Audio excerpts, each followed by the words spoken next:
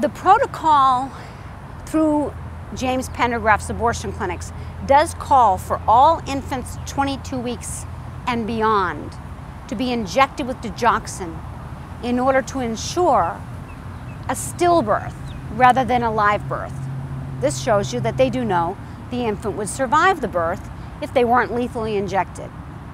In this case, and in several other cases that we know of, uh, the abortionist, in this case Harry Perper, failed to inject the infant with digoxin. So naturally, Rowan was born alive.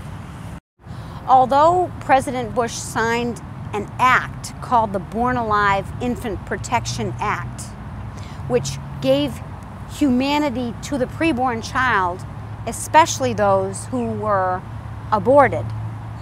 Uh, it, it afforded them the right to be given the same medical care that a wanted child would receive in the event that they were born alive as a result of an abortion. So naturally, we have this act because it was needed, because infants were being born alive as a result of abortion.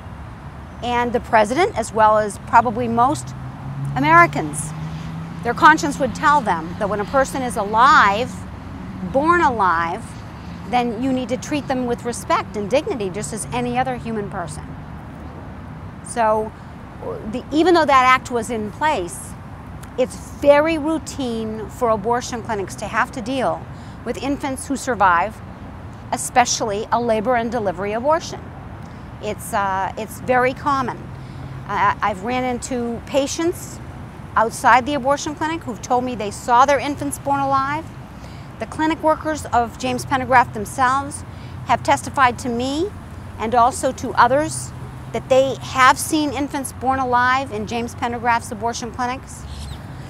Because we've been at Orlando Women's Center for 10 years, I believe the clinic workers have developed a begrudging respect for us. They know we care about women. And not only that, they know we care about them.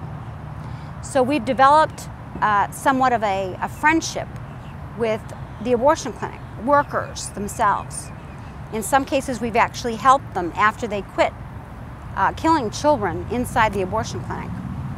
So when I have conversations with these women, uh, they, they, they tell me that they've seen the babies born alive. Uh, I know of one case where they explained that the abortionist who was on call told them to simply run the baby's face underwater um, until he was dead.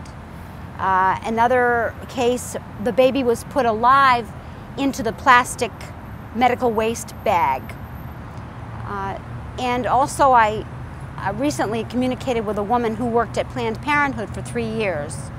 And she explained to me that during the training, they were told that when the baby's born alive, to simply wait because it wouldn't be long before the baby would die. So this is, this is very common.